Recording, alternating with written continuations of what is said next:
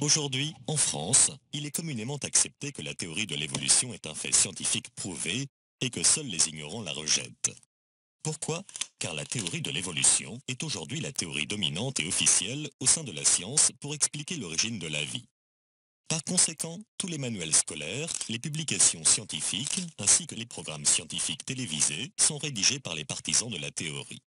Du coup, beaucoup de personnes pensent que cette théorie est un fait scientifique prouvé et que la remettre en question relève de l'ignorance ou de l'intégrisme religieux.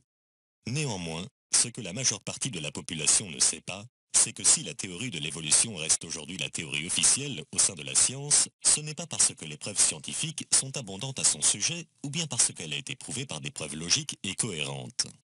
Au contraire, si cette théorie est acceptée de manière universelle au sein de la communauté scientifique, c'est simplement parce que la seule alternative pour expliquer l'origine de la vie est l'idée d'une création surnaturelle et que la science ne peut pas l'accepter.